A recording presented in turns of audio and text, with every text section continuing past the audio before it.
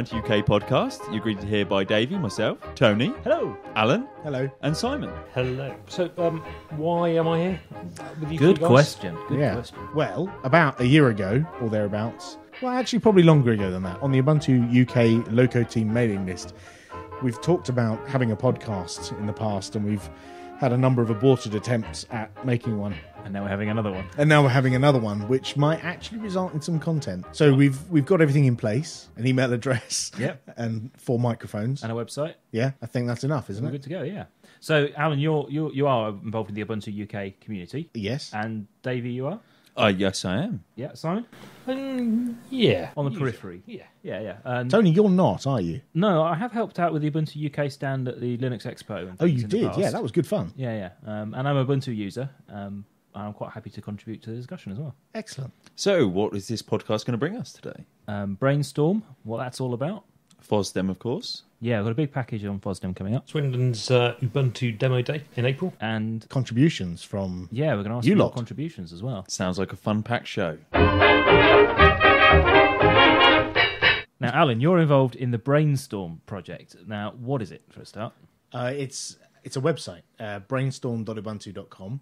Okay. Uh, it was set up by uh, some guys who work in the testing team for Ubuntu, and uh, it's been live for what a couple of weeks now, if that.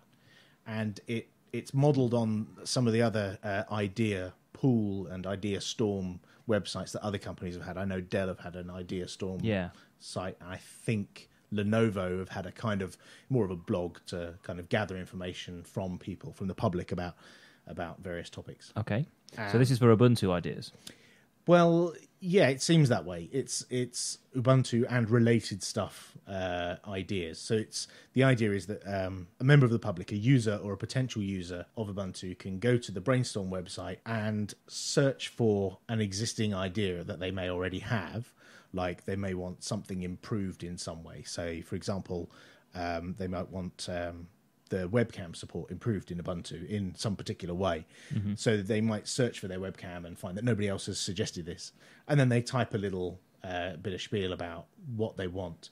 That goes into a, a queue with lots of others, and other members of the public can go to the website and rate it up or down. There's little green and red arrows that they can vote it up or down, a bit like Digg Okay. yeah, it's filling up with quite a lot of these ideas. There's about three, three or four thousand ideas in there at the moment. There are a lot of duplicates, and we're trying to clear those up. Um, I was recruited to be a moderator to help them clear out the duplicates. Okay. So anybody can go along. You don't have to be involved in Ubuntu. You don't have to have an Ubuntu login to submit ideas. No, uh, you get a, a if you if you're a part of the testing team, you'll probably have uh, a login to the QA tracker. But for everyone else, you can just sign into the site at brainstorm.ubuntu.com, register, and and start voting things up and down, and start um, registering your own ideas as well. Okay. So what do we think about this idea? There's not too much. There's not just too much. Um, you know, you say you got 3,000 suggestions on there. Yeah. I mean, are they going to be seriously looked at? Well, the plan is that at the next um, developer summit, um, which is in Prague in May, I think it is. Yeah. Uh, at the developer summit, they're going to go through some of the probably the highest rated ones overall time and the highest rated ones that month, and and so on, and pick out some of these ideas and see if uh, they have legs, Okay. as it were. Should um, should the guys be focusing on um, these new features that would be great when there are you know you look at Launchpad there are so many bugs. Yes, good point. Um, but some of them, some of the ideas are actually, please pay attention to this bug. You know, it's kind of like a petition in a way to say, please draw attention to this thing. And if you get lots of people rating it up, you know, there's an argument that, well, yeah, quite a lot of people really do get impacted by that bug. So perhaps we should pay more attention to that. And others are conceptual ideas, and and others are well difficult to categorize, but some of them are are quite hard to achieve. You know, there's there's there's conceptual ideas like make Ubuntu better as as an idea, or you know Vote down. make it make it more like Windows or make it more like OS 10 and and some of those are very hard. You know, you can't just say okay I'll work on that making it better than you know OS 10 or like Windows. And some people would argue against it anyway and say I, don't- I wish it wasn't like that. And so some of them are hard to achieve. Can people not make feature requests through Launchpad? Mm. There is a, a, a system called Blueprints in Launchpad Right. where you can write a specification, and that's the recommended way to do it. And in fact, building up to um, the Ubuntu Developer Summit, it's a good idea to start now registering blueprints in Launchpad and requesting that they get discussed at UDS. But the thing I find really good about Brainstorm um, is that some things which you wouldn't consider a bug, you wouldn't consider a feature request, a blueprint. Um, I mean, one, one I'm just looking at now whilst I'm talking is the uh, do not install support for Palm OS devices by default. Now, to me, that's that's a valid point. Uh, I don't own a Palm OS device. Why would I want support for it? Um, but I wouldn't be able to consider that a bug, and I wouldn't be able to consider that really a feature request. So, so this brainstorm is actually really good release for them little niggles that you wouldn't be able to put somewhere else. Yeah. And it also, it's some people find it difficult filing bugs, reporting bugs, whereas the the free thought way of just brain dumping what you think straight onto a page in a website is easier for a lot of people. I mean, you can see the popularity of forums. You look at how popular the Ubuntu forums are compared with mailing lists and you know IRC Yeah. and other methods. There clearly is a, a number of people who benefit from feeling that they can release you know their ideas in that It's way. easy to go onto a website, click up or down. You've not, you know, you've not got a Yeah. huge commitment to 'Cause get it- in there. 'cause- And it's actually is- quite good fun. It's quite good fun to sit there and scroll through. You know what's there, there was a bit of a problem when it when it first started. In that the day it launched, there were two ideas on the site that were created by the people who created the site, and then the URL got passed around, and very quickly it ballooned, and it went from two ideas to ten to hundred in a space a short space of time, and those ten or hundred were on the front page and because they were the first ones you saw and the only ones you saw if you first visited the site, people started rating those up because they sounded like a good idea. And I'm actually guilty of creating one of the the very early ones and it shows up as most popular on the site not because it's really popular but because it was one of the first ones to be created and it's the one that lots of people have seen which is a bit of a shame. So they've tweaked the algorithm and it, it, it Right. doesn't show you all It time sho- shows the most popular ones from today by default, does it? something like that. I think it shows uh, most popular ideas this week or uh, most popular today. Yeah. So how many how many plus ratings has, has the top one got? What, today? week? Yeah. uh, 100 or so okay. and then So a fair number of people must be visiting and clicking. Yeah, I mean, it, it, in one day, it was on uh, the front page of Digg, front page of Slashdot, and the front page of Wired, and the server kind of collapsed in a bit of a heap. But the Canonical system admins who host, or Canonical hosts, and the system admins look after it, moved it to another server, I believe, which uh, seems to be coping pretty well now. Okay. And what are the top three ideas? Say. And the top three ideas of all time is uh, fix, suspend, and hibernate. I mean, I don't know anyone who uses laptops here will often find that they break. Yeah. Yeah, I mean that's that's a perennial problem, and that's, I mean, it's it's It fair. to- needs a lot of focus, really, it's, doesn't it's it? fair to argue. And I, I mean, mean, if, my- you, if you were to talk to someone like Matthew Garrett about that, I'm sure he'd go off in a rage about you know how difficult it is to just say let's fix that because there are so many problems. Yeah, but I mean, okay. I mean, I've got a, um, a an IBM laptop here. Um, I pressed hibernate, put it in my bag, and thought it would be switched off. It wasn't. I mean, I would have thought this works in Windows, so there must be some sort of stand out there because there's no specific drivers shipped with that. So, There, there, there are. are there? Yeah. That's that's the problem. Having heard Matthew talk about this, essentially uh, every single laptop does it a slightly different way, and every single manufacturer puts different software on your Windows install um, to, To get make to it work. Yeah, and that's actually bundled on the Windows disk, is it? Uh, I don't know if it's on the window. It'll be on the, the, the Installed on the manufacturer's utilities on the pre-installed image. Yeah. I think I recall very recently Matthew Garrett giving a talk. For those who don't know, Matthew Garrett is a member of the Ubuntu community, and he's um, very knowledgeable about very knowledgeable about suspend and resume and ACPI and those kind of related issues. And I remember hearing a talk, actually watching a video, so I know it was him saying it. That someone asked the questions, "What should I do if I want suspend and resume?" And the answer was, "If you want reliable suspend resume, don't use Linux." Because it doesn't work reliably. So I can see why people have voted that the number one thing on Brainstorm. Okay. What's the next one? The next one is actually one by our co-presenter here, Alan Pope. Oh, this is the one that sneaked in at the top because I Provide a simple graphical interface to manage any type of network connection. okay. So that would be including VPNs, Everything. mobile connections, everything. Because uh, if you look at like Network Manager, can do wireless, it can do wired networks, and it can do VPN, and I believe it can do dial-up as well. Yeah. And with a bit of monkeying around, you could probably get it to do 3G and I don't know if you can, but there's also the connection over Bluetooth to a mobile phone, and mm-hmm. you know, there's all kinds of different ways of connecting to the internet or connecting to a network. And it would be lovely if there was just a one thing, like you know, I hate to say it, but compared with Windows, where there is network places, okay, underneath all of that, there's loads of drivers and applets and, and rubbish, hmm. but there's one place you go to to do dial up networking and maybe not Bluetooth, but most of it is in one place. Yeah. And I think we need a make my network work button kind of thing. Does it bug anyone else? You can't press refresh to actually rescan the wireless networks in the area. You have to wait so long. In fact, sometimes it's quicker just to press reboot and actually have an if you have a fast machine, yeah, yeah, it might be come up. quicker to But it does take an age for it to refresh. I mean, if you, Or you can kill Network Manager and start Doesn't it again. work. Really? If you kill the GUI, the back end's still running. No, no, no. I meant kill, kill the whole thing. sudo capital N network capital M manager. I'm Stop, pretty and sure. then that- start it. oh, yeah, I just did uh, kill all NM applet and then No, no, No, that's, that's just the just the app. front You need end. to kill the network manager process. Capital okay. N, capital M. There's a little bit on the back end that actually does the scanning. Although I can't say I've had that particular problem. It No, always me seems to neither. pick them up quite quickly for me. Or I just go and have a cup of tea and wait until the wireless network. picks up. exactly reboot. I mean, Well, yeah, you could do that. Ubuntu helping tea drinkers everywhere. And the third one? power management. Uh, you need Ubuntu needs to go green. PowerTop, less watts, and other tools have finally hit the Fewer Linux watts. scene. Sorry, it's just a knee-jerk reaction when someone says less watts. It's fewer, Fewer watts. Well, okay. Sorry, I thought I misread it then. Um, now I've completely lost my place. Thank you, Alan. all right. Um, So it's all about improving the power management. yeah, basically, Oh, it's, it's what, it's what green hippies want worldwide. They want less power coming out of Linux. Well, it sounds good with the increasing uh, electricity costs. I wouldn't mind some of that myself. I saw a funky uh, uh, fan that attaches onto the heatsink of a CPU uh, in a computer recently, and it it's um, it's driven by uh, some kind of convection motor. And and so the heat generated by the North Bridge or the CPU or something causes this little motor to spin and causes the fan to go around and blow air. So you don't need electricity.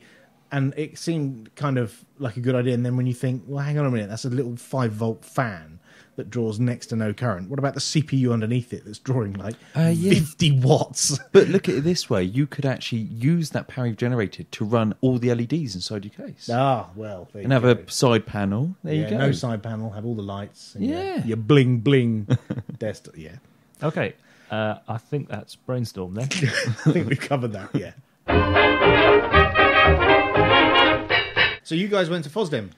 Yep, uh, a couple of weekends ago, Dave and I went off with a group from Hampshire, Lug mostly, and uh, yeah, it's a good time. What's FOSDEM then? FOSDEM is the Free and Open Source Developers European Meeting. Developers.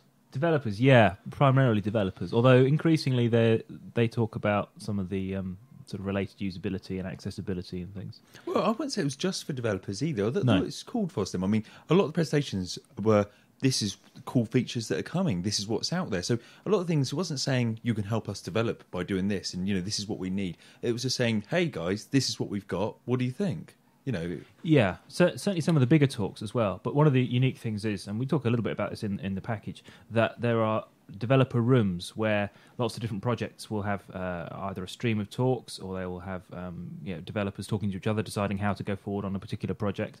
So in the bigger rooms, yes, it's very much here's our project and, and doing a presentation to you know a couple of thousand geeks. Whereas in the smaller rooms, it it is uh, a little bit more hardcore, if you like. You know, there's, there's coders and they're talking about some of the, the software design choices.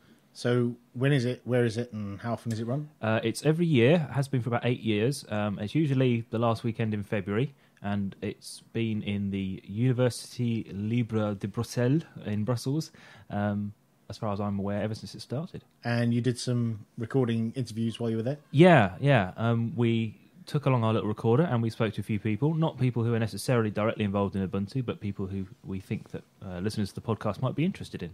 Okay, should we have a listen to that? Yep. So we're here on the train to Fosdem, the Eurostar. We've just come out of the tunnel. We're in France right now, and I'm here with Dave and Adrian. Uh, now, I've been to Fosdem. This is my third one, I think. But Dave, this is your first time, isn't it? Yes, yes, very much so. So, as a Fosdem virgin, what are your hopes for the weekend? I must say, looking at this year's schedule compared to last year's, there's a lot more interesting talks. I don't really know where to start. There's so many clashing. So, Adrian, have, what advice would you have for Dave as a, a first-time Fosdem goer? You've been here for two or three years as well, is that right? Y- yes, this will be the third FOSDEM trip. Um, Only for sandwiches. They get a bit busier. It's a mad rush. Hello. What about sort of handling the talks? How do you choose what to go to? Um, a dartboard is a traditional way to choose, um, or a roulette wheel. Um, I've eliminated the ones I'm not interested in, and so that le- leaves me a few left. It, it is quite tricky because there's sort of ten consecutive tracks at, at least of speakers and, and uh, sorry of talks, and they go from the gigantic through to the, sort of the developer rooms where you might have sort of twenty people in. Um, and you can't always tell in advance whether a talk's going to be given well or, or given poorly. And uh, sometimes you end up sort of stuck in a room uh, with a talk that turns out to be not exactly what you were thinking it was on in the first place, and the speaker is between you and the door. And there's not much you can do to get out of it other than sort of smile sweetly and uh, try not to look too conspicuous when you leave. I would say um, it's useful to early on in the talk figure out if you want to stay or not, um, in particular what level it's aimed at, whether it's an overview introductory talk or an advanced talk, which generally you're interested in one or the other, but not. But uh, and if it's the wrong sort, just leave early. And so, some of the bigger talks tend to be less in depth and less technical. So the ones in the larger auditorium is often more of an overview. So, so what you're telling me is there's some in-depth talks and there's some easy talks. Yeah, the technical the technical complexity is inversely proportional to the size of the room. Hi, it's Dave here, and I'm just joining Andrew Woffer from the Bongo project. Uh, he's the lead developer. Do you just want to say say hello? Uh, hi, um, just a quick point. I'm not actually the lead developer. I'm I'm core contributor, um, but uh, my uh, lead developer would be slightly miffed with me if I didn't say so. Um, basically, Bongo's a, a, lightweight email and calendaring solution. Um, it's a nice small footprint memory-wise. There's no Java stack behind it, um, so don't have Tomcat or anything like that. Um, uh, completely open source, GPL v2 licensed, uh, standards compliant, um, providing uh, IMAP POP3 email uh, and SMTP, as well as um, a CalDAV uh, calendar client. Um, so hopefully, users of any desktop, uh, any OS. Uh, should be able to interface with us quite happily and uh, quite pleasantly if they want to use a fat client or uh, use a lovely browser. Now it's, it's got a little bit of a, a, history behind it because it came originally from a closed source product, didn't it, from Novell? Uh, yes, that's correct. Um, our roots trace back ooh, many, many years, possibly around 20 years, with Novell uh, NIMS uh, and subsequently Novell Netmail. Uh, Novell then, uh, about three, four years ago, open sourced chunks of Netmail into the uh, Hula project. Um, and for commercial reasons, they uh, then subsequently had to sell off the Hula project to uh, one of their partners. Um, and uh, just before that happened, uh, we uh, thought, well, we like what we've got here, we'll continue it on, and uh, created the Bongo project. Well, one thing that particularly interests me um, when the Hula project uh, come to an end. how did your project actually get off the ground? How did you meet? How did you actually get the project started?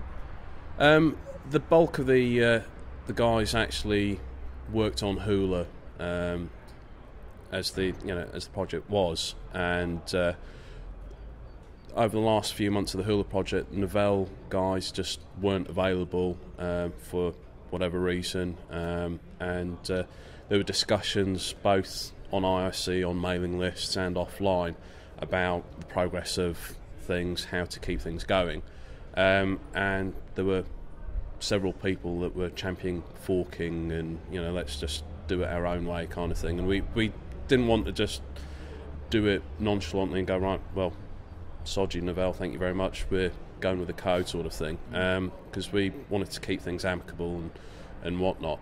Um, and you know, we held a, a debate effectively and a, a vote, and uh, the consensus was indeed to fork. Um, so we tried to do it as um, politically polite, I think, uh, as we could. And uh, Novell, uh, in all fairness, were quite happy with that. Um, they're quite pleasant and pleased to, to see that we were continuing it as a completely open source project and you know community based. And you've got quite a wide range of distros you produce packages for as well. I saw in your, Lightning talk yesterday.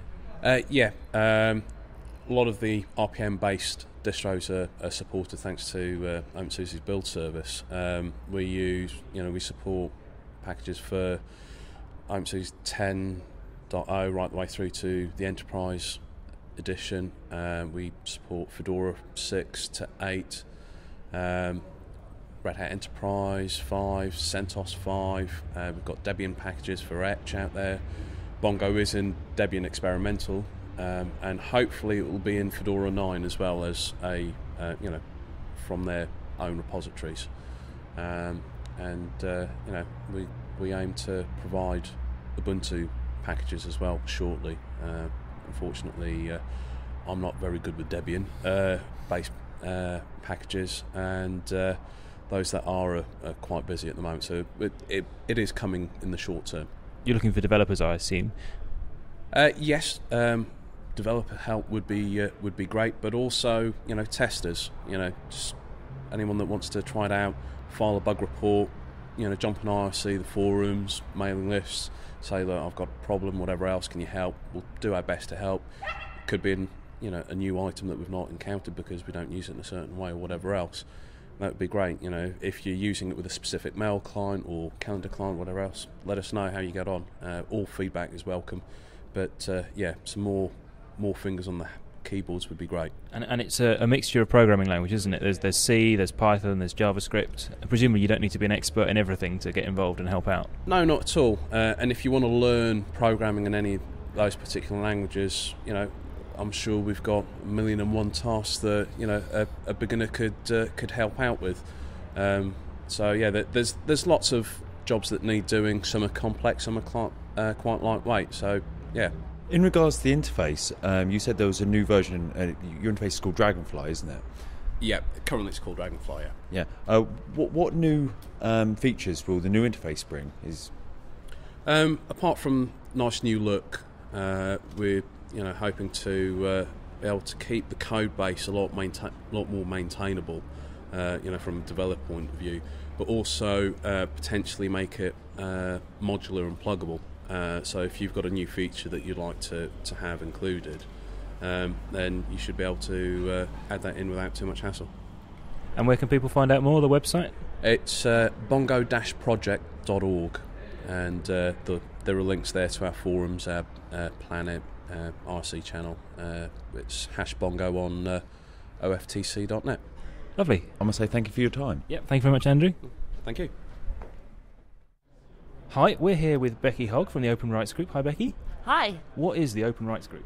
Okay, so the Open Rights Group is a grassroots digital rights organisation. So, just to translate that a little bit, what that means is we speak out every time consumer rights, civil rights, or human rights are affected by either the poor regulation or the poor implementation of the networked digital technology. So, we're talking about issues like um, privacy, data protection, data retention, copyright, intellectual property, software patents, electronic voting. These are all issues where we've been active on in the last two and a half years. We were founded in 2005 and we're sort of special because we exist because a thousand people thought we should. In 2005, a thousand individuals said that they would, they would um, fund us five pounds a month each. So we're we're a press clearinghouse. We talk to ministers. We also talk to people who are concerned about their digital rights and help let them show them what they can do to, to assert those rights.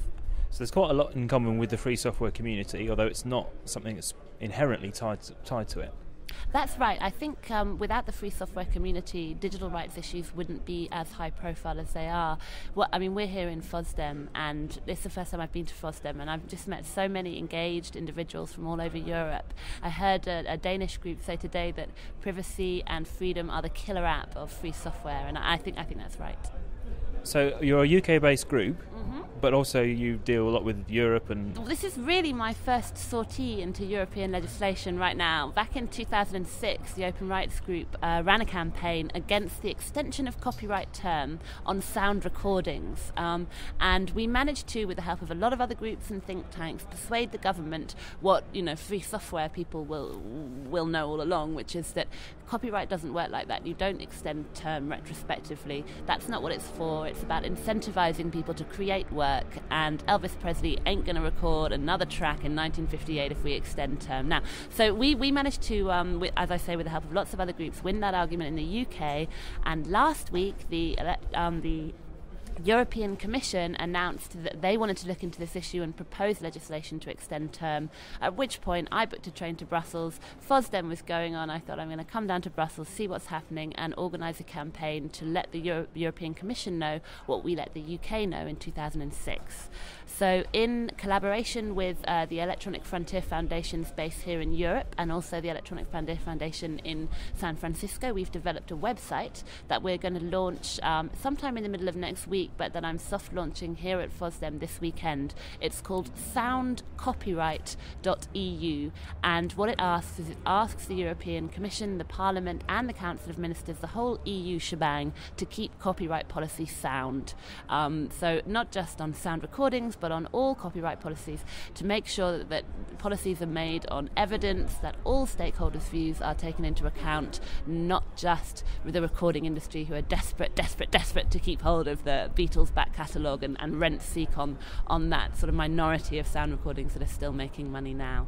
So, that, so I'm getting people, I'm talking to people here, I'm, I'm practicing my schoolgirl French, talking to French activists, I'm talking to some very patient German activists in, in, in English, um, and asking them to, to, to sort of take a look at the website, sign the petition, and, and get their networks involved in this. Because this is, you know, we've won the debate in the UK, but digital rights organisations across Europe care about these issues, and, and, and we want to work in a kind of distributed but collective fashion to, to raise awareness about this over the coming months as the Commission proposal goes through the process. So it, the uh, big counter argument is the, the Cliff Richard argument. You know, these these old singers who lived for so long that they made recordings when they were 18 that are now coming out of copyright, and it's their, their pension.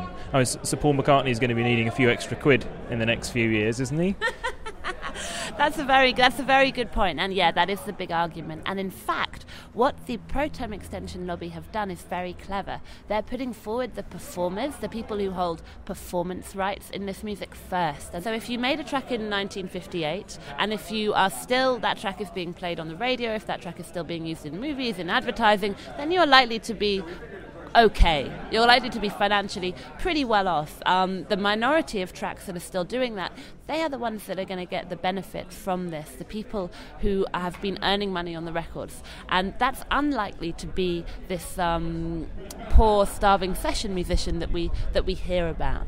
And and uh, because that poor, starving session musician is poor and starving because for the last 50 years, the music that he made in 1958 hasn't been, you know, giving the returns because maybe people don't like it or maybe it was, you know, too experimental for 1958 and whatever.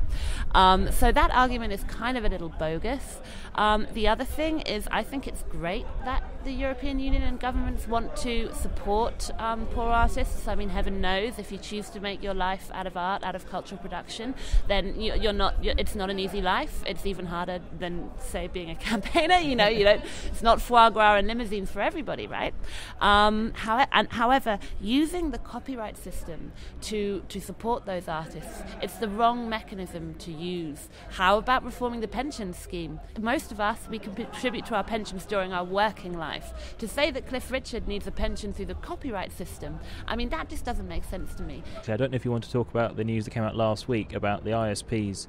Um, being held uh, criminally sure. responsible. Sure. So, recommendation 39 of the Gowers Review of Intellectual Property was that um, inter- internet service providers and rights holder groups need to cooperate in order to um, stop illicit file sharing online. And if they don't, then the government should step in in 2008, basically now.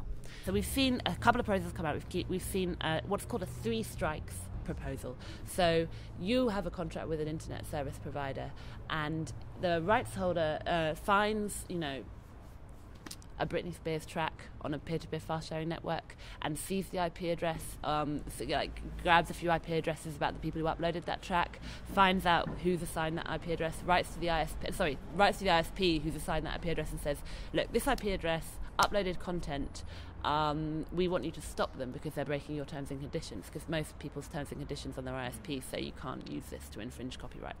So the ISP says, okay, great, looks in their file, says, okay, that's you. All right, I'm going to post you a letter. Or I think it might be an email. It's kind of weird.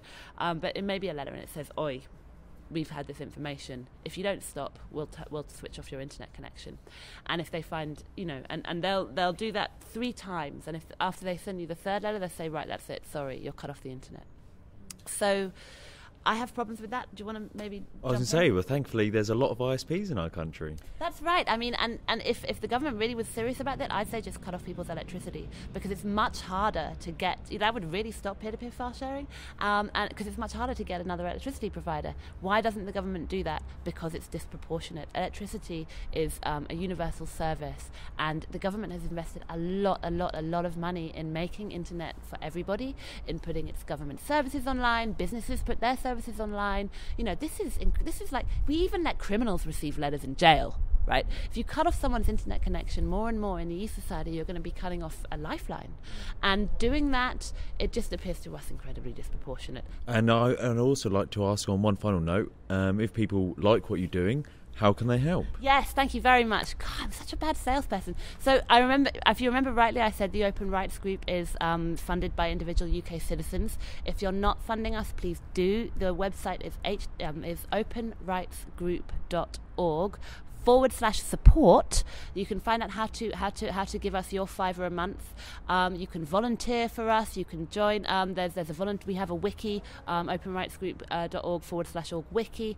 Um, go there. There's a volunteer section. Find out how to join in. You can join in even if you're not in London. Also join the discuss list. Come and tell us about your ideas about your rights. There's a way to join the discuss list on the front page of our website which again is openrightsgroup.org org. Thanks so much for letting me speak to you today. Thank you. Thank you. Goodbye.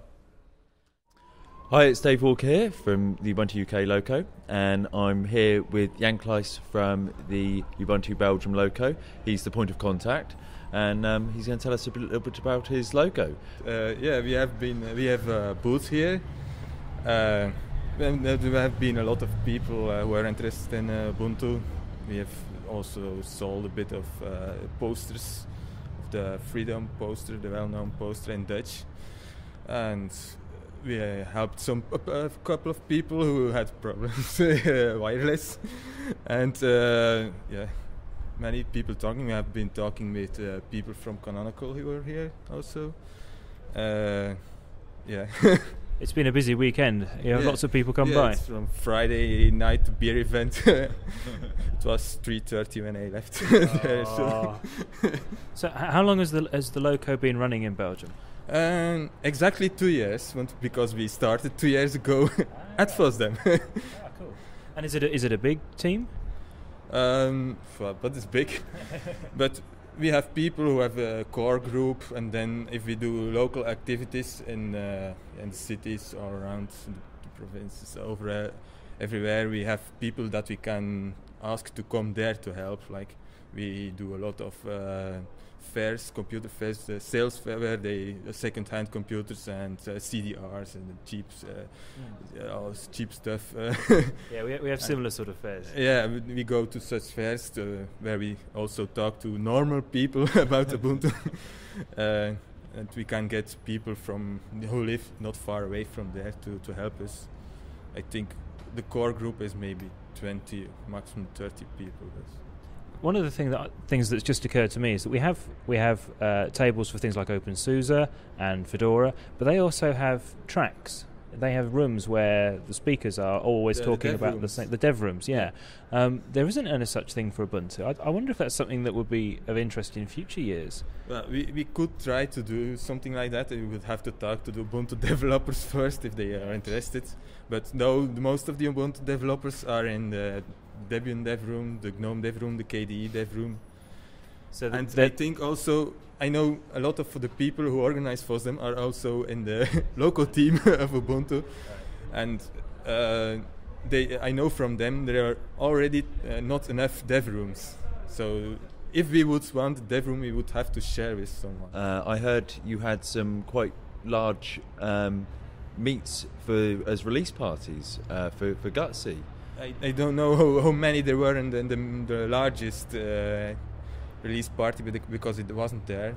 There we had like I don't know fi 50 people where uh, where I went, which is uh, actually a sort of a luck, but a luck that tries to go to the uh, people who are just beginning with uh, Linux. So most of the people use Ubuntu, which is uh, there are some others who use other distros, but it's a Linux bubble, a Linux chat. uh, where we also did a small release party. There was one in Brussels also, I think, and one in uh, Liège, I think. Uh, they are cooperating for the, the one in, in the largest one in, in Belgium, uh, wh- which will know for Hardy will be the only one. Uh, they cooperate with the Dutch one for some like speakers, uh, getting speakers and just. Uh, So it's, it's not just it's not just beer. There's there's um, speakers and talks and things. It's there's some yeah there's no this year there were four speakers I think but otherwise there will be some uh, people will have, uh, get can get help uh, there will just be some fun of course uh, drinks and uh, Yeah, that's really good stuff. Yeah, well, I must say thank you very much for your time, and it sounds like uh, your loco's doing really well. Yeah. So thank you. Thank you very much. Thank you for the interview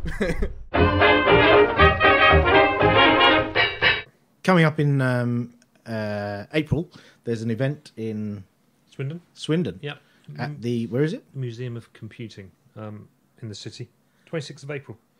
Um, And what is it? What's the event? It's an Ubuntu demo day. Oh, cool. Um, What's the plan? What are they doing? I think the plan is just to get people um, to see Ubuntu. Um, lots of advertising going on in the town, uh, in the city, local press. Uh, there was an ad in Linux format, format this month, oh wow. Cool. um, which is good. Uh, really, just sort of making the community aware of Ubuntu. Um, I think they're planning to have uh, a big hall filled with monitors, screencasts running, which obviously you know about Al. Um, several Vaguely. tables. I'm, I'm aware of their work. Yeah, um, covering all aspects, everything from the absolute beginner. So you don't, you, you know, you don't feel that it's um, Linux. I wouldn't possibly know where to start. It's, It's- going to be. It's supposed to be family oriented, isn't it? In in some way. Yeah, the uh, the organizer, um, one of the organisers, Diane's gone out of her way to make sure that um, you know people can bring their families and leave dad uh, to to nerd out whilst they go and uh, and, and do things uh, in and around the town. So I think she's put a lot of effort into actually getting it ready. Wow. So, so who has actually been to this uh, Museum of Computing then? I, I haven't. No, No, I- I, I've, I've heard of it. Thought but- about going. You know, it's still about my way, but it's about an hour from my place, but. Uh, So what is it? Is it uh, as you would expect? Lots of glass boxes with old computers in, or something. Yeah, everything. Loads and loads of old stuff. Really Wow. old stuff. you really can nerd out. Then, massively. Cool. And so, who's organising that? Is it Ubuntu UK based? It's uh, It's Diane. the Museum Di- uh, of uh, Computing in Swindon. They're actually doing the organising. Yep. Oh, cool. That's brilliant. Yeah, they've asked for help on the uh, on the Ubuntu UK mailing loco mailing list. They've asked for help, and I know a few people have volunteered to to go along Yep. and um, and help out. And Excellent. Hopefully, some uh, some of the local lugs as well will will pitch in. Um, there's a couple of groups in and around. There's obviously the Wiltshire Lug, um, and there's the Wiltshire Computer User Group. I believe Oh, really? going to be there as well. all right. Excellent. So, when's that again? It's on Saturday, the 26th of April, and it goes from 10 a.m. to 4 p.m. at the Museum of Computing in Swindon. And is there a website? there is. It's www.museum-of-computing.org.uk. Marvelous. Thank you very much, Dave. Awesome. If uh, you've got any feedback for us, then uh, we'd love to hear it. Um, I'll give you the details in just a sec. We'd also be interested in getting recorded material. If you've got uh, tips or reviews or maybe a rant, uh, you can get it down as short as possible, no more than a few minutes, and uh, let us have a copy of it. Uh, our email address is podcast at ubuntu-uk.org or you can come into our IRC channel, which is on the Freenode IRC network, and it's hash ubuntu-uk. Yeah, that sounds good. It'd be great to find out how people are using Ubuntu, what they think of it. Um, if you want to record that on on your system and send it in to us, that would be great. Or even just by email would be fine. Yeah, absolutely. Yeah, yeah. Well, like, uh, yeah, if uh, if um, audio is a bit too new media, then feel free to just send us plain text emails, and uh, we'll uh, maybe read them out on the show or answer them on the show. Yeah, that sounds great. It's um, it's worth pointing out that we do actually make this whole podcast using Ubuntu. The website is hosted on Ubuntu. Um, the graphics for the website were created in Inkscape on Ubuntu. By Dave Murphy. Thank you, Dave. Oh God, yeah, we haven't mentioned his name yet. Oh, Yeah. name Dave dropping. Murphy. Oh, Schwuk that's on. IRC. Thank you Yeah. very much for your hard work. Yeah. Yeah, it's fantastic. I love the new logo. It's really good. Well, I say new logo. We never had one previously, did we? because we didn't there were exist. previous revisions. Yeah, the, the earlier revisions. You don't want to see those. But also, They he, he turned it around in what three days or so. Really? Yeah. yeah. It was. It was Yeah. really. Hard work, much appreciated. Yeah, it's really really cool. Uh, yeah, so everything's done in uh, in Ubuntu. We're happy about that. It's hosted on Ubuntu as well, Yeah. uh, and hosted for free. Uh, we got a free virtual server from Bitfolk. Ah, yes. Thank you, Bitfolk. Thank you. So the next episode, when is that? Well, we're hoping it's going to be in a couple of weeks' time, but we shall see. Yeah, if we get loads of feedback to podcast at ubuntu-uk.org saying Don't don't bother." don't bother, bother. don't make any more of these. Thanks for your time. Close the door. Yes, that was the worst half hour of my life. Um, yeah, but if we got lots of feedback and suggestions, then we'll be able to put a show together quite quickly. But keep watching the RSS feed, check the website. And, The uh, website is the website is podcast.ubuntu-uk.org. And uh, the email address, which Al- I think Alan's already mentioned, but send your tips, suggestions, and any feedback at all to podcast at ubuntu-uk.org. Links for everything discussed on the show are, of course, available on our website. So that about wraps it up. Thanks everybody for listening. See you next time. yeah. Thanks very much. Cheers. Bye. Thanks. Bye.